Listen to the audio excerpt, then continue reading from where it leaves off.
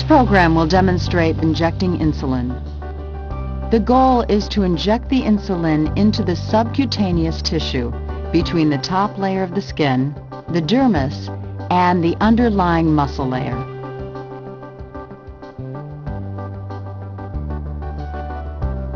The only concentration of insulin available in the United States is 100 units per milliliter. A milliliter is equal to a cubic centimeter. All insulin syringes are graduated to match this concentration.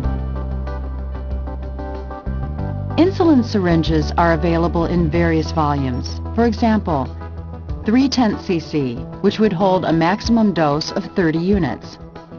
1 half cc, to hold a maximum dose of 50 units, and 1 cc to hold a maximum dose of 100 units. Some insulins are cloudy suspensions. To ensure uniform dispersion of the insulin in the cloudy suspension, roll the vial gently between your hands. Avoid vigorous shaking, which will produce air bubbles or foam and interfere with obtaining the accurate dose. Wipe off the top of the bottle with an alcohol swab. Discard the swab.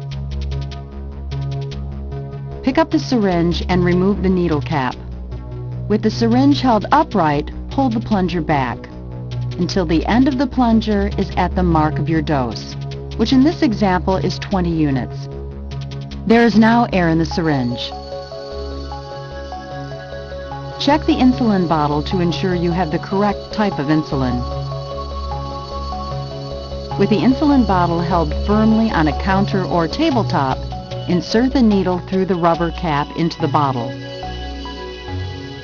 Push the plunger down so that the air goes from the syringe into the bottle. Turn the bottle upside down so that the air in it is at the top.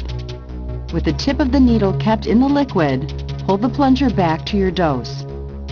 If any air bubbles are in the syringe, push the plunger back in and drop the dose again.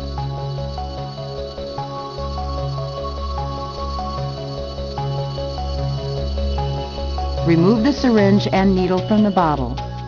Do not let the needle touch anything else before it touches your skin for the injection. Wipe the skin of the chosen injection site with an alcohol swab and let the skin dry.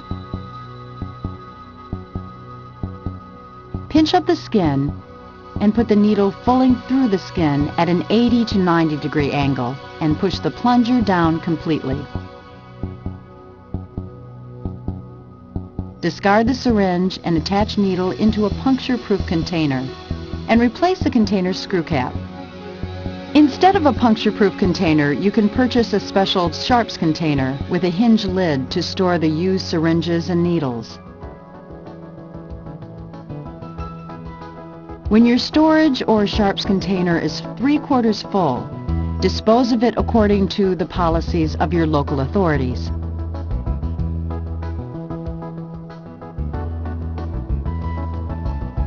The recommended sites for insulin injections are shown. Change the place of each injection by moving a couple of inches from the previous site. By doing this, you can stay in one general area for several days.